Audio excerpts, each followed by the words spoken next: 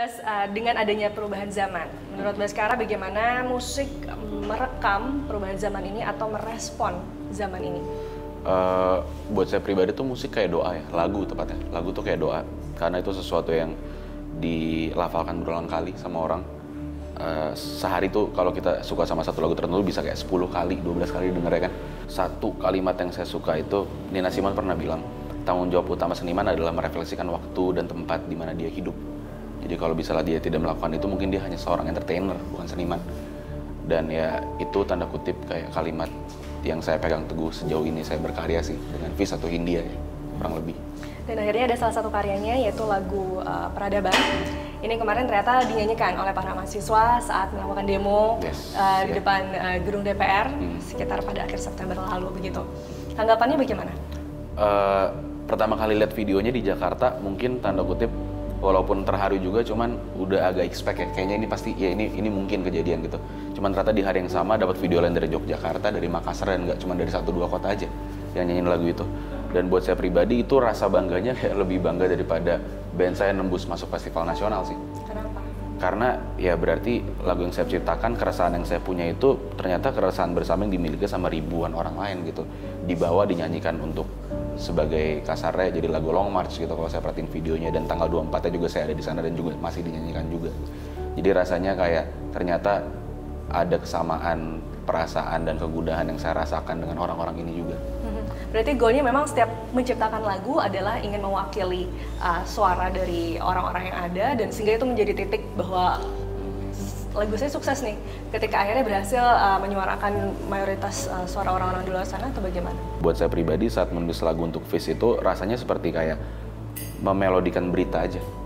Cuman namun diberikan lirik, diberikan aransemen, cuman sebenarnya itu cuma hal-hal asli dan nyata yang kejadian di masyarakat dan ya nggak pernah ada kayak apa namanya tendensi khusus untuk kayak ini lagu harus bisa didengar dan dinyanyikan sama ribuan orang dan mereka harus sama-sama merasa kayak ini lagu tanda kutip gue banget gue juga ngerasain ini nggak pernah ada tujuan seperti itu gitu di saat kami bilang kami belum tentu itu sebenarnya kalimat yang memang saya ambil dari orang lain saya ajak ngobrol untuk bikin lagu itu gitu dan, dan ya dan itu kasusnya nggak cuma di satu dua lagu aja hampir semua lagunya kayak gitu mm-hmm.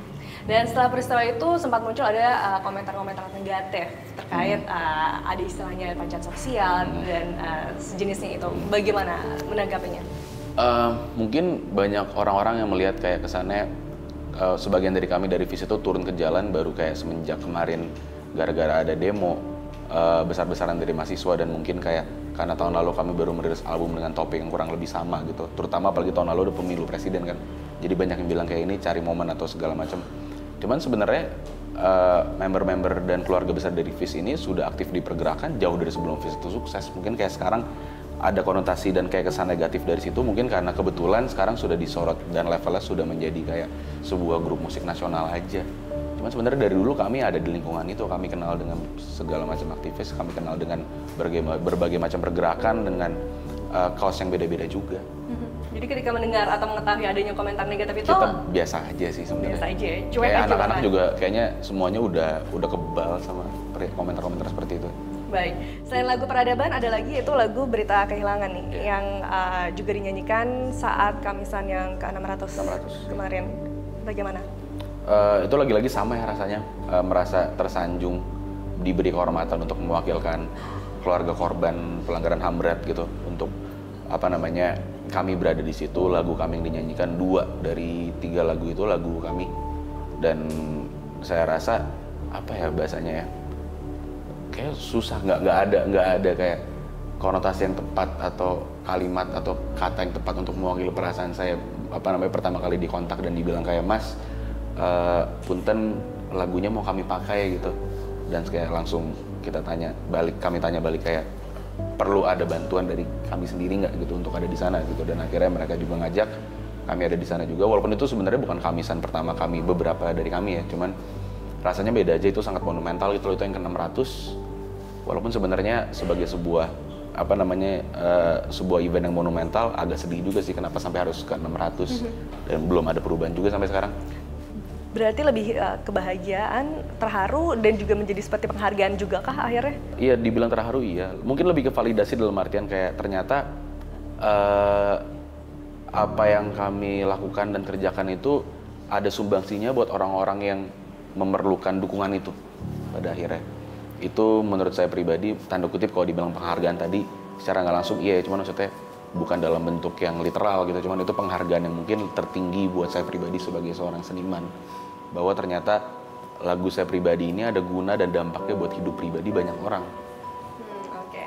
Dan eh, ada fakta menarik. Jadi kemarin nih tim Bicara Indonesia bekerja keras nih, Iya. ya, mendengarkan lagu-lagunya dari Fis dan juga Hindia, terus eh, menghitung diksi-diksi atau kata-kata yang Iya. eh, sering digunakan. Dan ternyata ada tiga kata atau diksi yang paling sering eh, ada gitu atau muncul. Yaitu ada diksi hidup atau kehidupan. Ini ada sebanyak 15 kali ya dalam tujuh lagu. Terus ada juga kata racun 12 kali di tiga lagu dan kata nyawa 10 kali uh, dalam tiga lagu. Berarti kalau kita simpulkan kata hidup atau kehidupan, racun dan nyawa ini sering sekali muncul uh, di lagu-lagu yang diciptakan ini. Eh, saya pribadi dalam menulis sebuah lagu itu biasanya selalu dalam satu eh, gelombang yang bersamaan. Jadi di saat saya tahu lagu ini akan menjadi single untuk album yang akan datang, itu semua lagu di album itu saya kerjakan bersama. Jadi memang ada topik-topik besar yang saya angkat bersamaan. Mungkin kasarnya seperti ada kayak hmm, bukan diagram ya bahasanya, cuman ada semacam skemanya aja gitu. Saya tahu dari kata ini, habis ini mau bicara apa, habis ini mau bicara apa. Dan memang saya pribadi suka merujuk sendiri ke lagu-lagu yang sudah saya tulis sebelumnya gitu agar terjadi sebuah kesinambungan, ada benang merah yang kuat di situ gitu. Seperti kata-kata racun itu sering sekali keluar di lagu-lagu Hindia. Karena memang topiknya itu gitu, racun untuk diri sendiri. Self love, topiknya inner peace. Dan bisa lo ngomongin kehidupan gitu. Mungkin kayak kalau formatnya kalimat di album Fish yang terakhir banyak sekali kata-kata beberapa orang memaafkan gitu judul dari album sendiri itu keluar hampir di semua lagu. Karena memang sebenarnya topiknya sama. Tapi Baskara sadar nggak kalau tiga diksi itu memang sering muncul? Sering muncul dan memang saya menulisnya dengan sadar. Nah, Karena kan selain tadi ada hidup, racun ataupun nyawa, ada juga kata-kata lain seperti sedih, dunia, abadi, peradaban seperti itu. Bagaimana bisa uh, ide-ide tersebut muncul dan memutuskan untuk memasukkan kata-kata tersebut dalam lagu-lagunya? Kebetulan inspirasi dan referensi saya selalu berbeda sih di tiap album besar yang saya tulis ya. Eh, seperti misalnya contohnya di album Fish yang terakhir beberapa orang memaafkan ini secara spesifik referensinya itu berita dan kalimat-kalimat yang digunakan dalam berita.